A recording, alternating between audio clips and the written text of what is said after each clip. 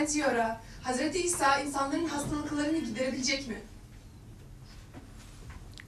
Senin bu tatlılığın ne bu tatlılığın böyle bu güzelliğin. Çok çok güzel kızım ve bakışların çok güzel. Hatların mükemmel. Çok güzelsin. İsa Mesih tabii böyle hastane gibi sürekli gece gündüz tedavi o öyle bir şey olmaz.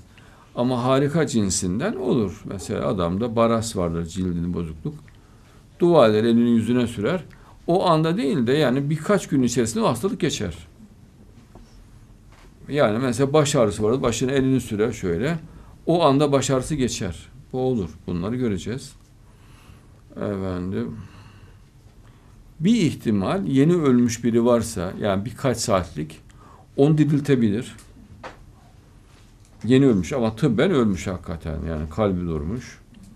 Akciğer hareket etmiyor. Ölmüş. Bir saatlik, bir buçuk saatlik. Yeni ölüyse onu diriltir. Bu olur yani birkaç tane, iki üç tane vaka şeklinde olabilir. Baras hastalığı, cilt bozuklukları bunlar olur. Efendim, böyle de, cinnet geçirmiş, delirmiş kişileri akıllandırabilir. Ee, ama bunlar tabi sembolik olur böyle hani hastane gibi bütün önüne gelen kuyruğa girerek o şekilde olmaz.